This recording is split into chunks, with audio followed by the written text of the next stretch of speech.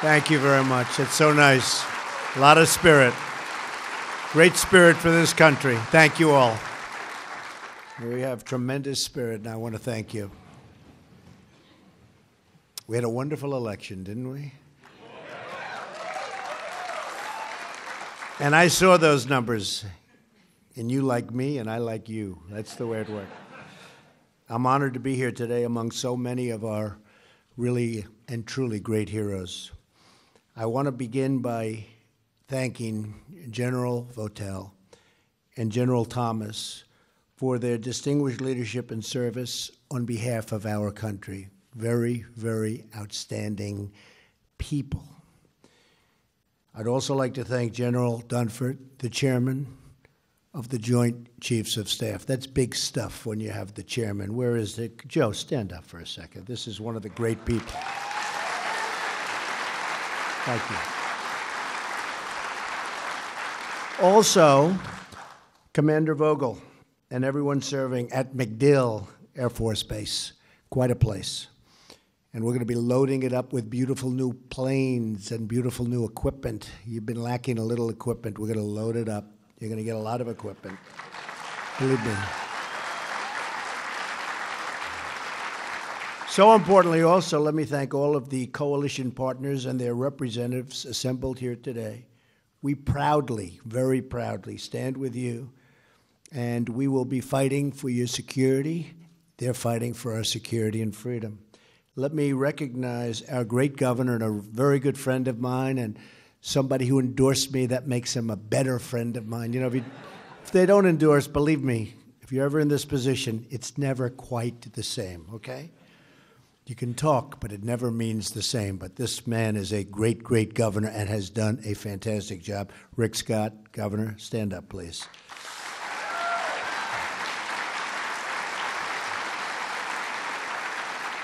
Thank you, Rick.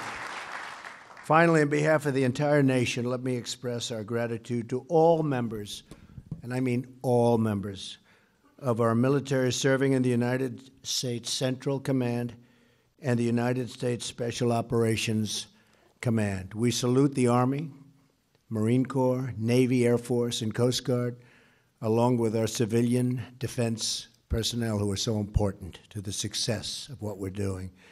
Let me also recognize the military families and spouses who bravely shoulder the burdens of war. I want every military family in this country to know that our administration is at your service. We stand with you 100%. We will protect those who protect us, and we will never, ever let you down. As your president, I have no higher duty than to protect the American people. Highest duty we have. I said it the other night. Great, great Supreme Court nominee. You all saw that. But I said to myself, perhaps the only thing more important to me, definitely, is the defense of our nation. Supreme Court's so important, but we have to defend our nation. And we will do that, believe me. We will do that. And each and every one of you is central to that mission. The men and women serving in CENTCOM and SOCOM have poured out their hearts and souls for this country. They've really experienced things that very few people get to experience. You've shed your blood across the continents and the oceans. You've engaged the enemy on distant battlefields, toiled in the burning heat and bitter cold, and sacrificed everything so that we can remain safe and strong and free. Our administration will always honor our sacred bond to those who serve, and we will never ever forget you.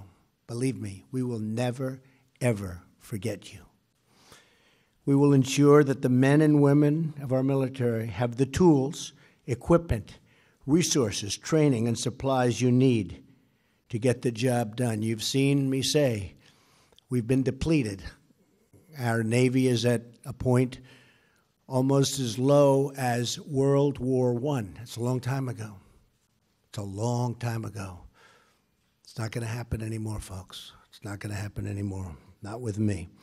but we will ensure no taxpayer dollars are wasted. I have already saved more than $700 million when I got involved in the negotiation on the F 35. You know about that.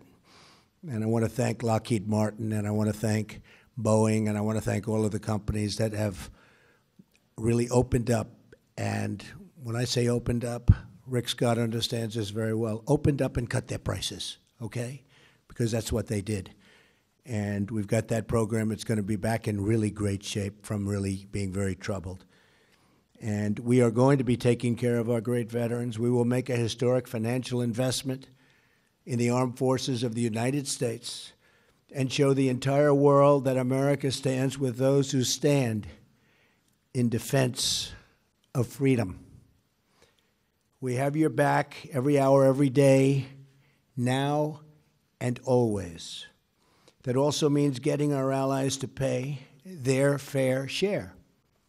It's been a very unfair to us. We strongly support NATO. We only ask that all of the NATO members make their full and proper financial contributions to the NATO alliance, which many of them have not been doing. Many of them have not been even close, and they have to do that. Central Command and Central Operations Command are at the very center of our fight against radical Islamic terrorism.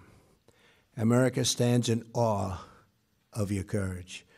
Those serving at CENTCOM have bravely fought across the theater of war in the Middle East and bravely battled a vicious enemy that has no respect for human life. Today, we express our gratitude to everyone serving overseas, including all of our military personnel in Afghanistan. SOCOM has dispatched its legendary warriors to the most secret, sensitive, and daring missions in defense of the United States of America. No enemy stands a chance against our special forces. Not even a chance. They don't have a chance. And that's the way we're going to keep it. And you're going to be better off because you're going to have the finest equipment known to man. Going to be better off. The proof that our nation has been blessed by God Look no further than the men and women of the United States military. They are the greatest fighters and the greatest force of justice on the face of the earth and that the world has ever known. The challenges facing our nation, nevertheless, are very large, very, very large. We're up against an enemy that celebrates death and totally worships destruction. You've seen that. ISIS is on a campaign of genocide, committing atrocities across the world. Radical Islamic terrorists are determined to strike our homeland as they did on 9 11, as they did from Boston to Orlando to San Bernardino. And all across Europe, you've seen what happened in Paris and Nice. All over Europe, it's happening. It's gotten to a point where it's not even being reported. And in many cases, the very, very dishonest press doesn't want to report it. They have their reasons, and you understand that. So today we deliver a message in one very unified voice to these forces of death and destruction. America and its allies will defeat you. We will defeat them.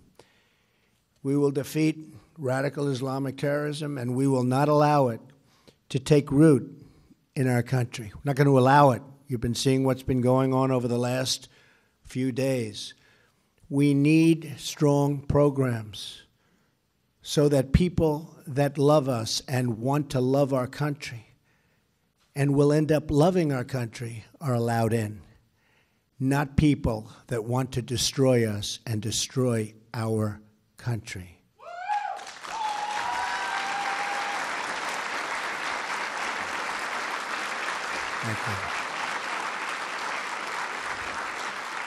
Freedom, security, and justice will prevail.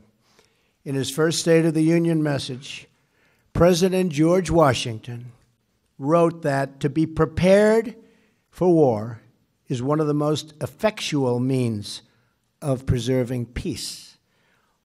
Almost 200 years later, as the general, general was also speaking about Ronald Reagan, he said that wisdom comes in three very, very strong words peace through strength. I've said it many times during the campaign, speaking in front of tens of thousands of people at one sitting, and I'd always mention America first, a phrase that you probably never heard make America great again. Anybody ever heard that? And peace through strength. The men and women of the United States military provide the strength to bring peace to our troubled, troubled times. We stand behind you. We support your mission. We love our country. We are loyal to our people. We respect our flag. We celebrate our traditions. We honor our heroes. You are our heroes. And we are prepared to fight. And we pray for peace. Thank you. God bless you. And God bless America. Thank you very much. Thank you. Thank you. Thank you, Thank you very much.